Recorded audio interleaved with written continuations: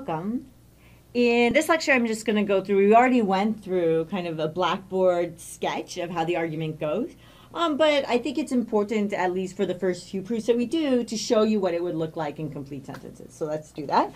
Um, so this is going to be my proof in complete sentences. So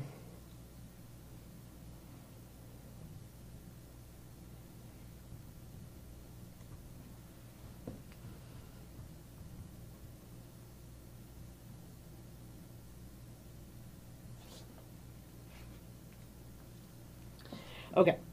Um, so, because this is like, these are these suppositions, but you're assuming the if part tells me I need to assume these. Okay, so suppose that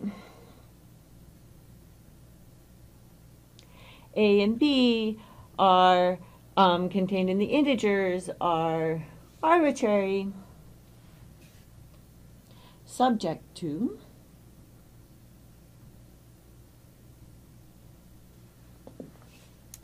uh, A divides B and B divides A.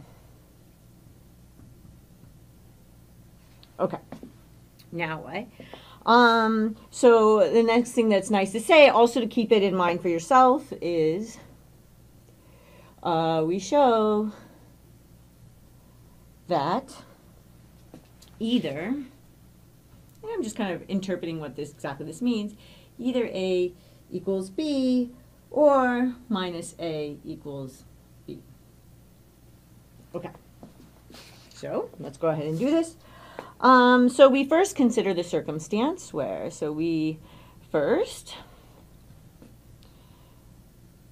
consider the circumstance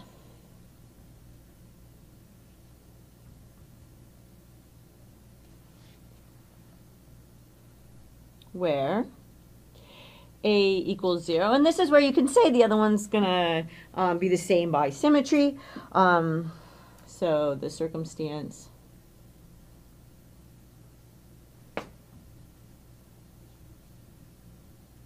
where b equals 0 will then follow by symmetry.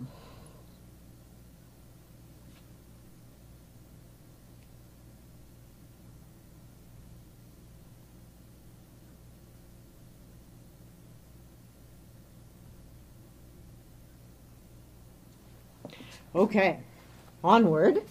Um, so I've told you what I'm going to do, right? This is always uh, good and important. Um, so since A, so I can just go through here, since A equals 0 and A divides B, right? We have that, um, we have 0 divides b, and thus b, uh, sorry, and thus b equals 0. The fact that this is, we call this D3, this is our own private language, you don't put that in like an assignment or something, okay? Um, so now, since we assumed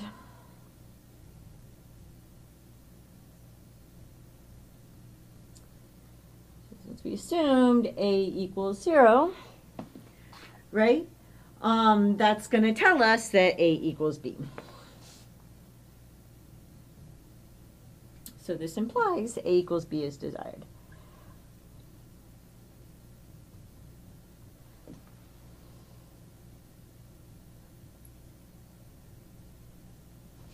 Okay. Um, now, right, and we don't go through the other one because it's a symmetric circumstance, so we just will um, kind of continue uh, uh, with the rest of the proof, but we can assume that A and B do not equal 0.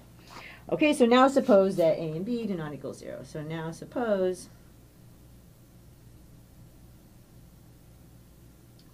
A does not equal 0 and B does not equal 0. Okay. Um, so since A divides B, right, um, we have by the definition of divide, so we have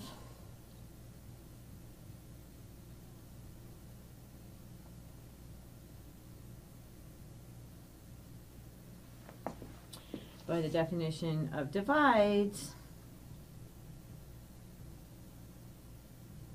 that. Okay um, there exists an integer m1 so there exists right? I'm just kind of reading this out an integer m1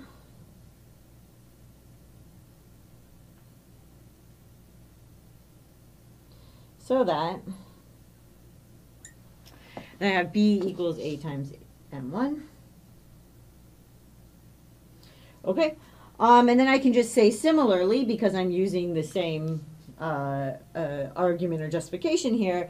So similarly, since B divides A, I have a lot of trouble remembering how to spell this. Similarly, maybe that's correct. Maybe there's an I in there. So similarly, uh, since B divides A, right, um, we have an integer m2.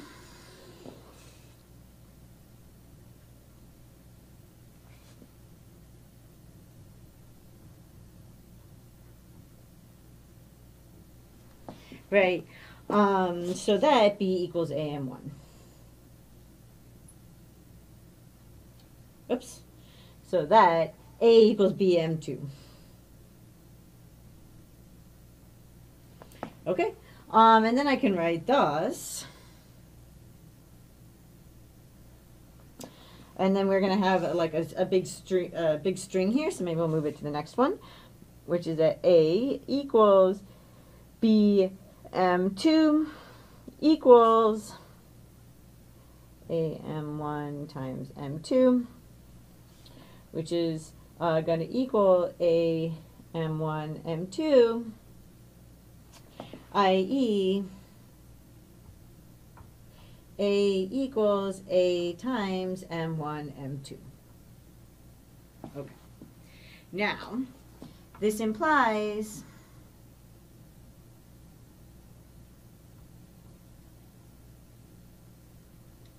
M1, M2 equals 1. Okay? Um, so this implies M1, M2 equals 1. So we either have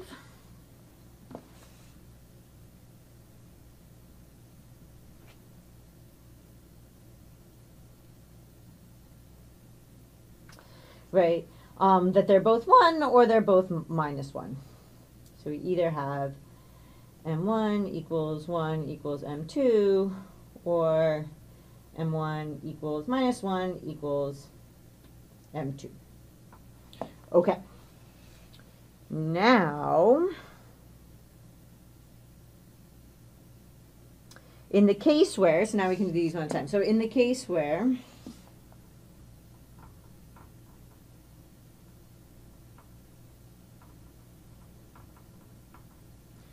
M1 equals 1 equals M2, okay, um, so what's going to happen in this case? Then we're going to have that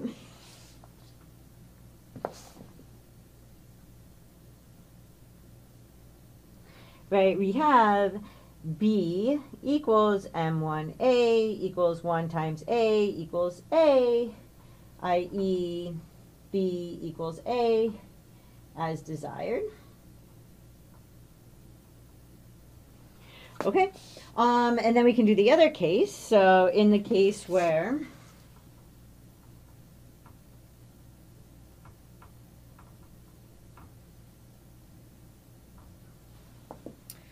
um, m1 equals minus 1 equals m2. Oh, that definitely went off the, it was so close to not going off the end.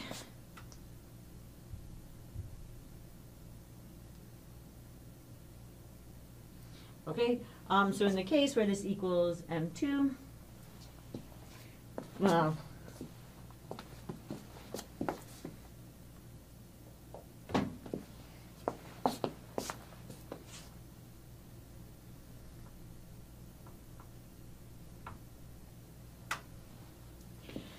So in the case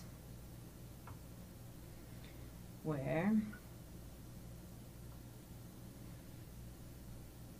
m1 equals minus 1 equals m2, there we go, now we got it all in. Okay, um, we're going to have, we have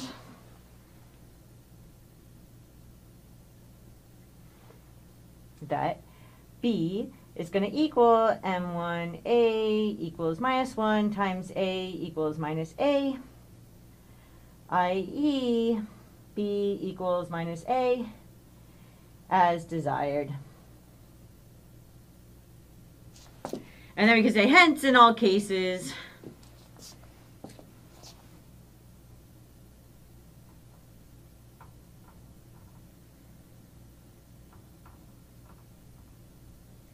A equals B or minus A equals B. Oh, almost. Um, I can do this.